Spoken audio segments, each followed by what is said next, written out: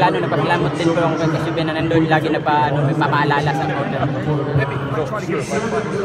Jerwin, parang na...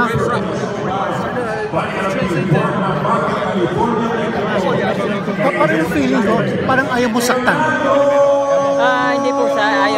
Saktan. Doon lang po kasi ayaw po din namin ma ano ng kumpiyansa kasi alam na natin si Sultan na kumakaunter din.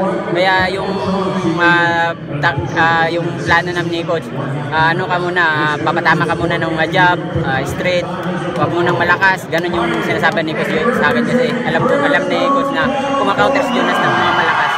Nagbago yung style ni Jonas. Sa umpisa, siya nagpe-pressure. Sa may bandang gitna, parang hinihintay siyang, parang hinihintay kang pumasok. Ah, yun.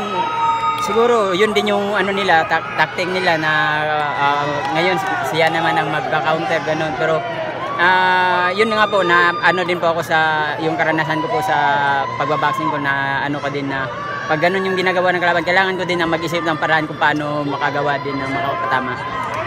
In-expect mo ba na magka-counter puncher siya kanina? Kasi ang usually si Jonas talagang ah, abante-abante eh. Pero kanina, in-expect mo ba na magka-counter puncher?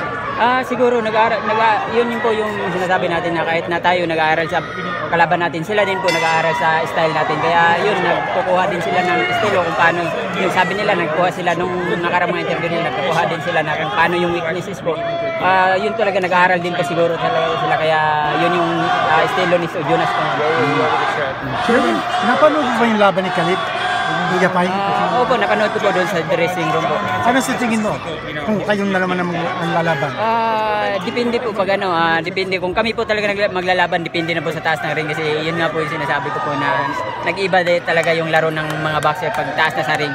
Ah, iba yung kalaban, iba din yung galaw nila pero pag kayo na naglalaban, iba din yung galaw kaya sa ano na po sa experience na lang po magkakatalunan pag taas na ring po sa pag get some Kung i-rate mo yung performance mo ngayon, 1 to 10.